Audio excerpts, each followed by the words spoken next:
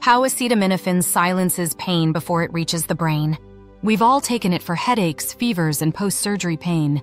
Paracetamol, also known as acetaminophen or Tylenol, is one of the most widely used painkillers in the world.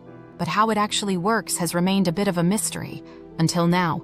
A new study from the Hebrew University of Jerusalem just turned that mystery on its head.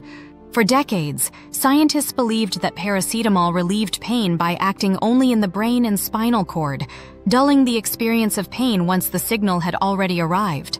But this research reveals something groundbreaking.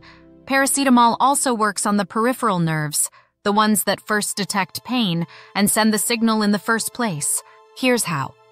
When you take paracetamol, your body converts it into a compound called AM404. What the researchers found is that AM404 is made right at the nerve endings that sense pain, and it works by shutting down sodium channels that transmit those pain signals to the brain. In other words, AM404 doesn't just dull pain, it prevents the signal from being sent at all. This finding could transform how we think about pain relief. Unlike traditional local anesthetics, which block all nerve activity and come with side effects like numbness or muscle weakness, AM404 acts with surgical precision, only stopping the nerves involved in pain. Imagine a future where we have painkillers that are not only highly effective, but also free from the usual side effects.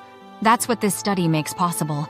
So the next time you reach for Tylenol, know this it's not just calming your brain, it's working at the very edge of your nervous system, stopping pain before your brain even knows it's there. This video is based on the research paper The Analgesic Paracetamol Metabolite AM404 Acts Peripherally to Directly Inhibit Sodium Channels by Alexander Binshtok et al. in PNAS. What do you think about this study? Drop us a comment below. Don't forget to like and subscribe for more neuroscience news updates.